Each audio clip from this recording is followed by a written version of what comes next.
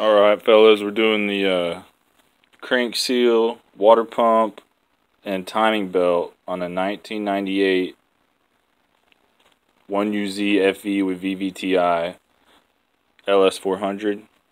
And uh, a lot of people on the internet, I'm going to say 95% of people, they don't know how to line up the timing marks before they time, up, take off the timing belt, and you're going to run into some problems, and you're probably going to destroy your motor. So, I'm going to point out how to do it for you guys. Right here on your timing belt, you got this is top dead center. Well, that's not where you line it up when you're taking the timing belt off, okay? That's where you uh, line it back up when you're done. You line up the crank to zero on the timing cover marks, and you line up this T marks, this little gouge. This gouge will line up with that when you're done. But when you take the timing belt off, you line it up with the T. You see that mark lines up with that T. That mark lines up with that T. Okay, this is the right hand side, right? It's opposite, right, left. And leave it alone. Then uh, you take off, here's your belt tensioner, right here. You got a bolt here and a bolt here. To take the belt off, you loosen this one and this one back and forth until it comes off.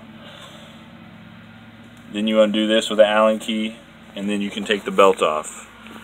Reassemble, turn it over by hand, take out the spark plugs. See, I got all the spark plugs out. That way it doesn't build compression. You can turn the engine over.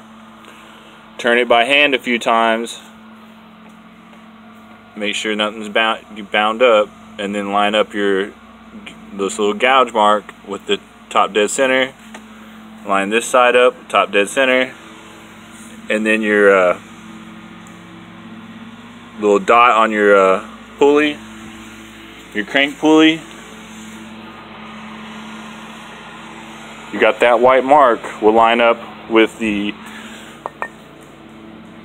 zero